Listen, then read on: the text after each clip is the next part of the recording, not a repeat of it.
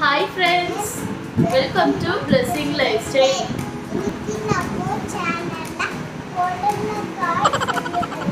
കൊടലുങ്കല്ല pudding ചെയ്യുമ്പോ caramel pudding hi ചെലുദേശി hi hi ചെലുന്ന എങ്കിൽ പറ. ഇങ്ങ് പറ. ഹായ് ചെലു ഹായ് ഹായ് ഹായ് ക്യാമറ ചെല്ലു ചെലപ്പത്തി இன்னைக்கு நம்ம சேனல்ல வந்து கேரமல் புட்டிங் தாங்க பார்க்க போறீங்க. கிட்டத்தட்ட ஒரு ரெண்டு மூணு நா மூணு இல்லைன்னா நாலு பொருட்கள் தான் போடுது இந்த புட்டிங் வந்து ஈஸியாக செஞ்சிடலாம் இப்போ பார்த்தீங்கன்னா தம்பி வந்து சண்டை போட்டுட்டு பாப்பா கிட்ட வந்து வம்புக்கு சண்டை போட்டு தூங்கிட்டாரு. திரும்ப வந்துச்சு சண்டை போடுவாடா தம்பி கூட? போட மாட்டானா தூங்குவாடா நல்ல பையனா ஸ்டார்ட் ஸ்டார்ட் பேசு அவன் எவ்வளவுதான் அடிச்சாலும் சண்டை போட்டாலும் வந்து ஷைனிக்கு உங்க தம்பினா ரொம்ப இஷ்டம். இல்லைம்மா யாருக்கும் விட்டு கொடுக்காது. ரொம்ப இஷ்டம். அடிச்சாலும் அடிக்கிட்டு விடுமா பரவாயில்ல அப்படின்னு நம்ம தான் ஸ்டிச்சிங் வச்சுக்கோங்களேன். அடிக்கிட்டு விடுமா பரவாயில்ல அப்படின்னுமா சரி இப்போ வந்து நம்ம போய் செய்வோமாடா? இல்ல. புட்டிங் வேற என்ன? கேக்கு தான் போட்டே செஞ்சு காட்டுவோம் இது கிட்டத்தட்ட கேக் மாதிரி தான்டா. இன்னும் செஞ்சேன் கேக் மாதிரி தான் இருக்கும். கேக் மாதிரி தான் இருக்கும். சரிங்க இப்போ வாட்ச வாங்க வீடியோக்குள்ள போய் செய்யலாம் ஃபஸ்ட்டு நம்ம கேரமல் ரெடி பண்ணிக்கலாங்க. அதுக்கு ஒரு பேனில் ஒரு கப் அளவுக்கு சுகர் சேர்த்துக்கிறாங்க. இது கிட்டத்தட்ட நாலுலேருந்து அஞ்சு டேபிள் ஸ்பூன் அளவுக்கு வரும். இதை வந்து நம்ம மீடியம் ஃப்ளே ஃபுல்லாக வந்து லோ ஃப்ளேமில் வச்சுட்டு இதை நம்ம கேரமலைஸ் பண்ணணுங்க. கூட தண்ணி எதுவும் சேர்த்துக்க வேண்டாங்க. ஆனால் அடுப்பு வந்து கண்டிப்பாக வந்து லோ ஃப்ளேமில் தாங்க இருக்கணும். ஃபுல் சிம்மில் வச்சுருங்க. இது இப்படி கிளறணுன்னா அது பாட்டுக்கு அது வந்து கேரமல் ஆகுங்க.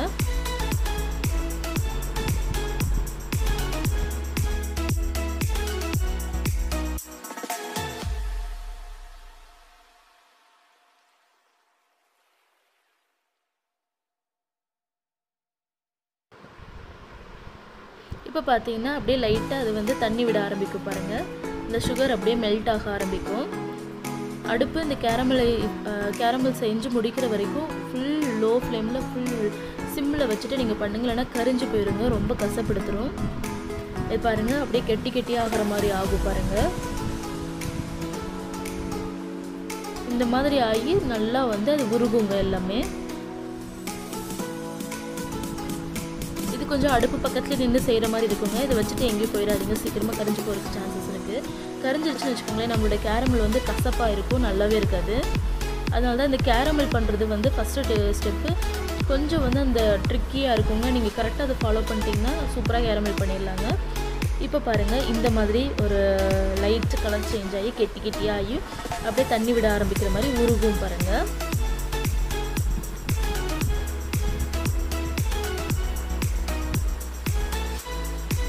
பாருங்க. இன்னும் கொஞ்சம் இது உருகிருச்சு. இன்னும் ஒரு ஒரு நிமிஷத்தில் இது ரெடி ஆயிருங்க.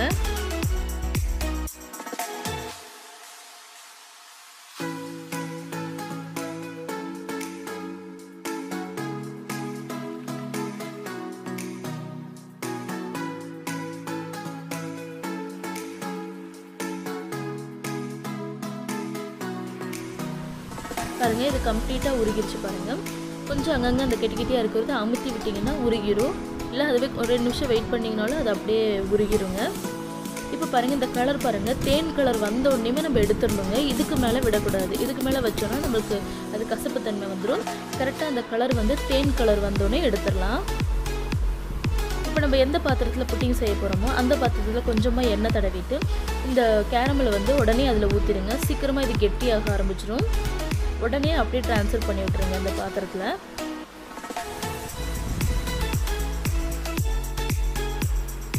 நீங்கள் கேரமல் செய்கிறதுக்கு முன்னாடியே எந்த பாத்திரத்தில் புட்டிங் செய்ய போகிறீங்களோ அந்த பாத்திரத்தை எண்ணெய் தடவி வச்சுருங்க. அது ஃபஸ்ட்டு பண்ணிவிட்டு அதுக்கப்புறமா கேரமல் செய்ய ஸ்டார்ட் பண்ணுங்கள் ஏன்னா இது உடனே செட் ஆக ஆரம்பிச்சிடும். அதுக்கப்புறம் நம்ம எண்ணெய் தடவிட்டு இருக்கிறதுக்குள்ளே அது கெட்டி ஆயிடும் அதனால் ஃபஸ்ட்டு எண்ணெய் தடவி அந்த பாத்திரத்தை ரெடி பண்ணி வச்சுட்டு அதுக்கப்புறமா கேரமல் செய்ய ஸ்டார்ட் பண்ணுங்கள்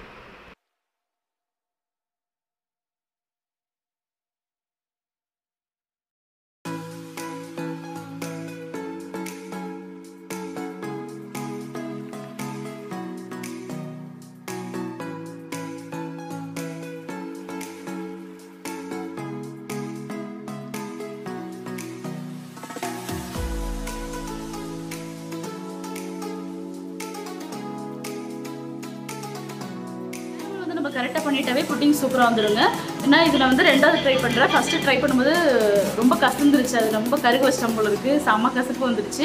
இப்போ வந்து அதனால தான் கரெக்டாக அந்த ப்ரொசீஜர் வந்து நான் உங்களுக்கு தெளிவாக காமிச்சிருக்கேன். அந்த கரெக்டான தேன் கலர் வந்தோடனே நீங்கள் எடுத்துருங்க. அப்போ வந்து கரெக்டாக இருக்கும் டேஸ்ட்டும் நல்லாயிருக்கும் இப்போ வந்து இது கேரமல் ஆயிடுச்சு. அடுத்த ப்ராசஸ் என்ன பண்ணுறதுன்னு பார்த்துக்கலாம்.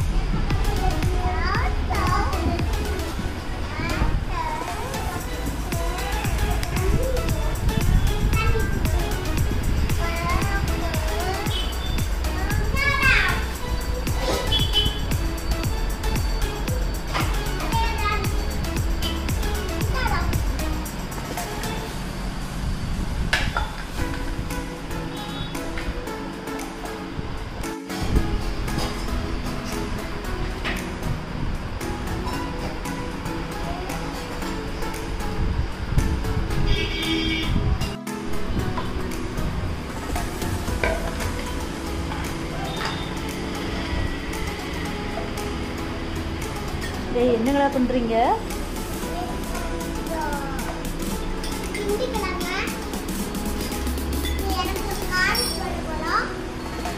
எதுக்கு காலேஜ் போட போகிறீங்க தண்ணி எடுத்துட்டு.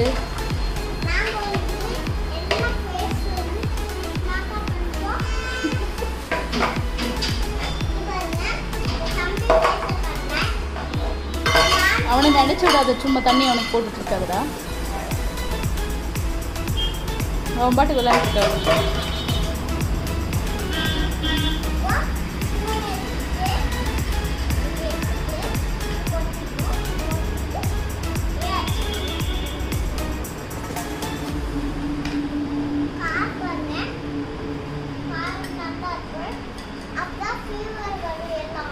டேய் இப்போ அடுத்து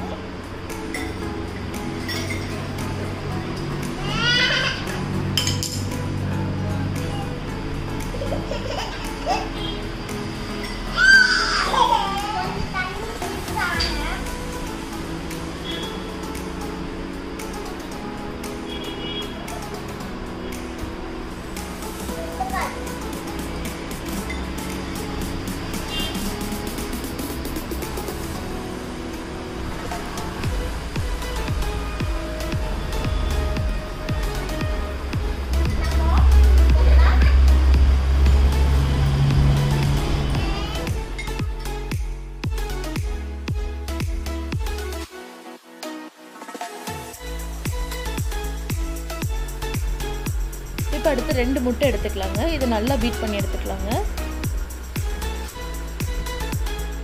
உங்களுக்கு முட்டை சேர்க்க விருப்பம் இல்லைன்னா நீங்கள் கஸ்டர்ட் பவுடர் யூஸ் பண்ணி கூட செஞ்சுக்கலாங்க.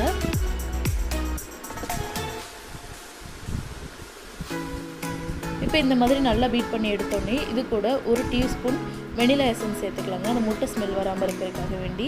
இதில் ஒரு நாலுலேருந்து நாலுலேருந்து அஞ்சு டேபிள் ஸ்பூன் சுகர் சேர்த்துட்டு இதையும் நல்லா மிக்ஸ் பண்ணிடலாங்க. அந்த சுகர் கரையிற மாதிரி நல்லா மிக்ஸ் பண்ணிக்கலாம்.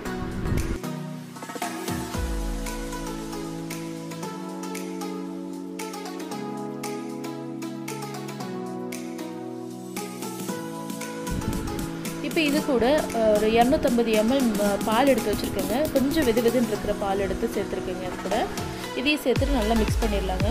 லைட்டாக வெது வெதுன்னு இருக்கிறது பால் சேர்த்தோம்னா அந்த முட்டையும் கரைஞ்சிருங்க சுகரும் கரைஞ்சிரும். அதுக்காக வேண்டிதான். இது நல்லா மிக்ஸ் பண்ணி விட்டுட்டு ஒரு வடிகட்டி வச்சு வடித்து எடுத்துக்கலாங்க. அதில் உள்ள வந்து லைட்டாக திப்பி திப்பியாக இருக்கிற மாதிரி இருக்கும். அதனால் ஒரு வடிகட்டி வச்சு வடித்து சேர்த்துக்கலாம். இப்போ இந்த கேரமல் செட்டாக இருக்கும் அதில் நம்ம சேர்த்துக்கலாங்க.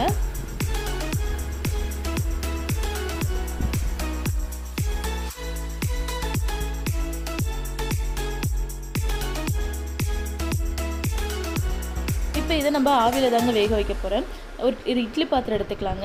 அதுக்கு அடியில் ஒரு ஸ்டாண்டு வச்சுக்கலாங்க. ஸ்டாண்ட் இல்லைன்னா இந்த மாதிரி பிருமனை கூட வச்சுக்கலாங்க. அதுக்கு மேலே ஒரு பிளேட் வச்சுட்டு நம்ம ரெடி பண்ணி வச்சுருக்கிற புட்டிங் மிக்சரை இதுக்குள்ளே வச்சுக்கலாங்க. இதுக்கு மேலே கண்டிப்பாக வந்து ஒரு மூடி போட்டுக்கோங்க. இல்லைன்னா நம்ம அதை கொதிச்சு அந்த ஆவி தண்ணியில் உள்ளே விழுந்து அந்த புட்டிங் வந்து வராமல் போகிற கூட சான்ஸ் இருக்குது வராமல் போயிருங்க. அதனால இதுக்கு மேலே வந்து ஒரு மூடி போட்டுட்டு இப்போ அதுக்கு கிட்டத்தட்ட இது வந்து இருபத்தஞ்சிலேருந்து முப்பது நிமிஷம் ஆகுங்க. மீடியம் ஃப்ளேமில் வச்சுட்டே குக் பண்ணுங்க. அப்போ தான் வந்து அது ரொம்ப இல்லைன்னா ஹை ஃப்ளேமில் வச்சிங்கன்னு வச்சுக்கோங்களேன் தண்ணி ஃபுல்லாக இது பண்ணி எல்லாம் ஸ்பாயில் ஆகிடும் கண்டிப்பாக வந்து மூடி போட்டு வேக வைங்க. ஒரு அரை மணி நேரம் கழிச்சுட்டு பார்க்கலாம். இப்போ இப்போ ஒரு அரை மணி நேரம் கழிச்சுட்டு ஒரு குச்சி டூத் பிக் வச்சு உள்ளே விட்டு பாருங்கள் அது மாவு மாதிரி வராமல் இருந்துச்சுன்னா வெந்துருச்சுன்னு அர்த்தம். அது வெந்த உடனேயுமே நல்லா கம்ப்ளீட்டாக ஆற வச்சுட்டு ஃப்ரிட்ஜில் வச்சுருங்க. ஃப்ரிட்ஜில் ஒரு ஒன் ஹவர் ரெண்டு ஹவர் வச்சுட்டு அதுக்கப்புறமா எடுத்து சர்வ் பண்ணிங்கன்னா அது கரெக்டாக பர்ஃபெக்டாக வருங்க. அது இல்லாமல் உங்களுக்கு ஸ்வீ டேஸ்ட்டு வந்து நல்லா சில்லுன்னு நல்லாயிருக்கும் ஆனால் என்னால் உடனே ஃப்ரிட்ஜில் வைக்க முடியல. அதனால் ஆறினோடனேயுமே நான் எடுத்து ஓப்பன் பண்ணிட்டேன் நீங்கள் ஃப்ரிட்ஜ் டைம் இருந்ததுன்னா ஃப்ரிட்ஜில் வச்சு எடுத்திங்கன்னா இந்த ஓரங்கள்லாம் பார்த்தீங்களா இந்த மாதிரி வராமல் நல்லா பர்ஃபெக்டாக வரும். டேஸ்ட்டு வந்து சில்லுன்னு சாப்பிடும்போது நல்லாயிருக்கும். இந்த புட்டிங் வந்து சில்லுன்னு சாப்பிட்டா நல்லாயிருக்கும். இப்போ கட் பண்ணலாங்க. எவ்வளோ சாஃப்டாக இருந்ததுன்னு பாருங்கள் நல்ல மாவு மாதிரி இருந்துச்சு. வாயில் போட்டோன்னே அப்படியே கரைஞ்சிருச்சுங்க. என்னால் கத்தியில் எடுக்கவே முடியல. அவ்வளோ சாஃப்டாக இருந்துச்சுங்க. அவ்வளோதாங்க ஈஸியான புட்டிங் ரெடி ஆயிடுச்சு இதே மாதிரி நீங்களும் ட்ரை பண்ணி பார்த்துட்டு எப்படி வந்துச்சு உங்கள் கமெண்ட்ஸ் எனக்கு சொல்லுங்கள் இந்த வீடியோ பிடிச்சிருந்துச்சுன்னா மறக்க